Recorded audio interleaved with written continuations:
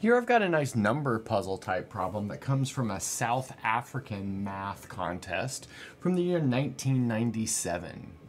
So our goal is to find the smallest positive integer so that when the last digit is moved to the first, the result is 2 seventh the original. Now before we start tackling this problem, I'd like to get a handle on what this action is.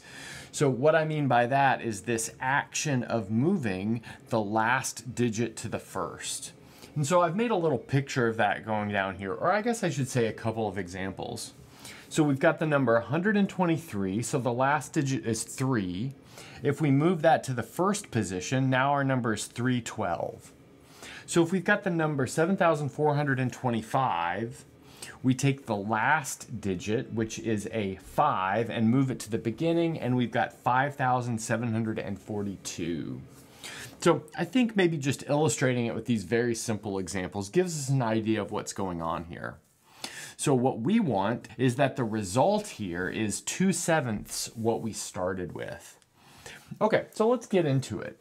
So I'm gonna start by writing the original number down via its like expansion with digits. And I'll use this standard like overline notation for it. So the original number will be D1, D2, dot, dot, dot, all the way up to DN.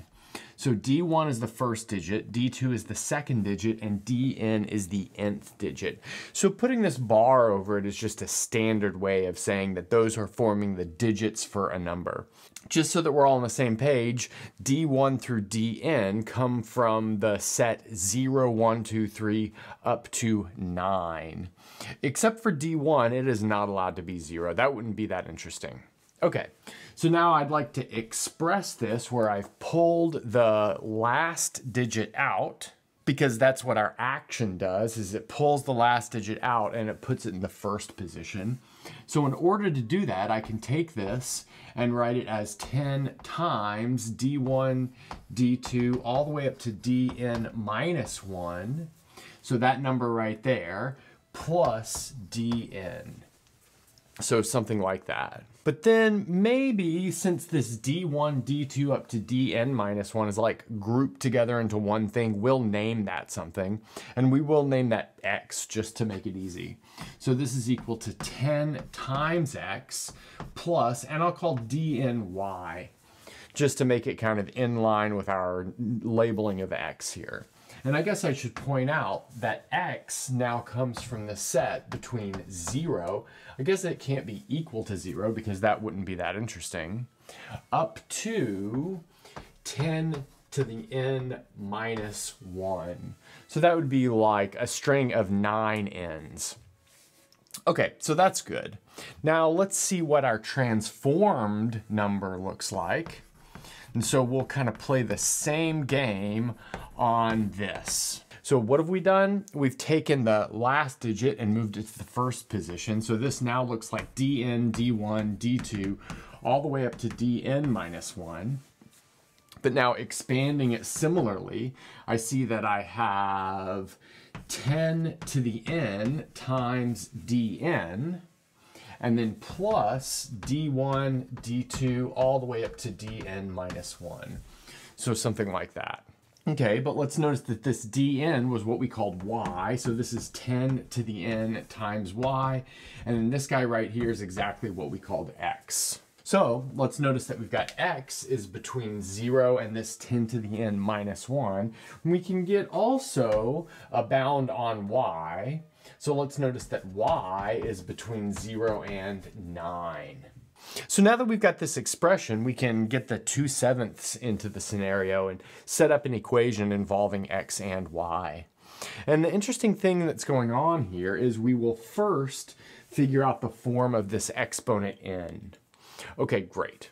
So what do we want? We want 2 sevenths times the original, so that'll be 2 over 7 times 10x plus y must be equal to the new one. So that's 10 to the n times y plus x. So let's note that that's the same thing as 20x plus 2y equals 7 times 10 to the n y plus 7x. Just by like clearing denominators and then distributing through. So next up, notice the x stuff looks a little bit simpler to work with because it's attached to a number 20 and a number 7 instead of a number 10 to the n times 7. So what we'll do is solve for x in terms of y. Well, we're going to have 13x is equal to, let's see, 7 times 10 to the n minus 2 times y. But now let's notice this left-hand side is a multiple of 13, meaning this right-hand side must also be a multiple of 13.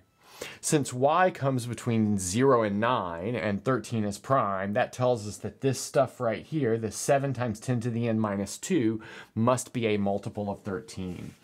Or 7 times 10 to the n must be congruent to 2 modulo 13. Well, that's equivalent to saying that this difference is divisible by 13. Okay, now let's solve for this 10 to the n. And let's do that by noticing that if we take 7 times 2, we get 14, but 14 is 1 mod 13. So that means we can multiply both sides of this by 2, and that'll clear this 7 here. So we'll have 10 to the n is congruent to 4 mod 13. But actually 10 is a little bit trickier to deal with than we would like, but let's note that 10 is the same thing as negative 3 mod 13. So that sets up this exponential equation, negative 3 to the n is congruent to 4 modulo 13. Okay, so that's starting to look good. And now we're gonna make a chart of values of negative 3 to the n and values of n just to get an idea for what the possible values of n are.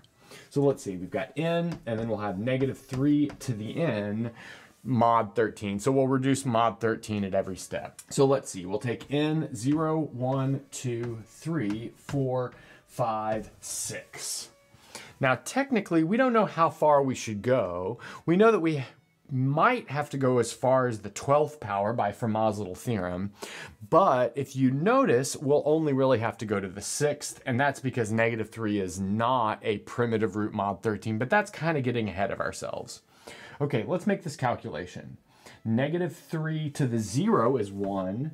Negative 3 to the 1 is negative 3, but I'll rewrite that as 10 just because it's nicer. Negative 3 squared is 9. Negative 3 cubed, well, that'll be the same thing as negative 3 times 9, but that's going to be negative 27. But negative 27 is the same thing as negative 1 because it's 1 less than 26, which is a multiple of 13. But negative 1 is the same thing as 12. So we get 12 there. And then negative 3 to the fourth will be the same thing as negative 3 times negative 3 cubed. So that'll be negative 36. But negative 36 is 3. That's because 36 is 3 less than 39, which is a multiple of 3. Now, multiplying negative 3 to 3, we get negative 9, but negative 9 is the same thing as 4 mod 13. And then multiplying negative 3 to 4, we get negative 12, but that is 1 mod 13. So that completes a loop.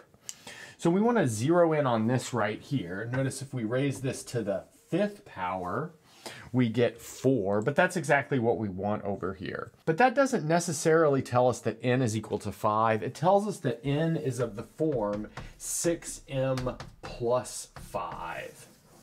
Why is it 6m plus 5? Because if we go around every six loops, we get back to 1.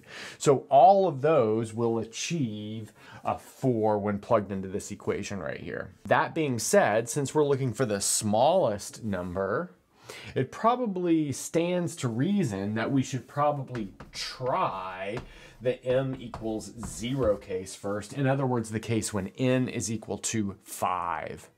Okay, and that's exactly what we'll do to finish this off. So on the last board, we wrote our number, so the number that satisfies this sentence right here could be written of the form 10x plus y, where 10 was between something like 0 and 10 to the n minus 1, and y was between 0 and 9. I guess I should say that at this point, we see that y must at least be equal to 1. Otherwise, x will be equal to 0, and the whole thing will be equal to 0, and we're looking for a positive integer here. Furthermore, we were able to write 13x as 7 times 10 to the n minus 2 times y. And we argued that n was of the form 6m plus 5, and we should probably try the case when n is equal to 5 because we want to achieve this smallest condition over here.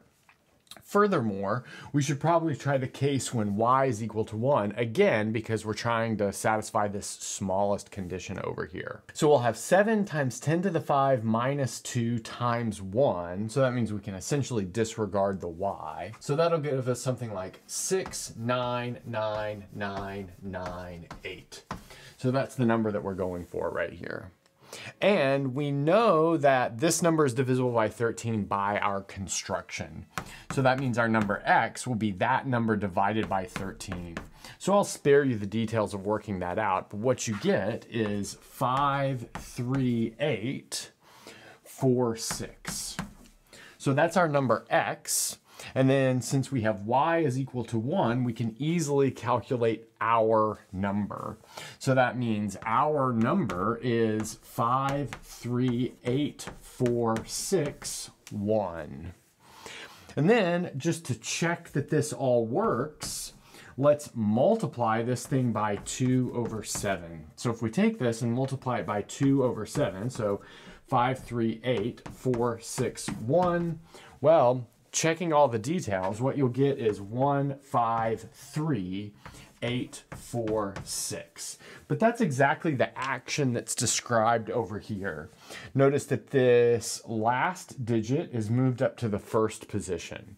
And that's a good place to stop.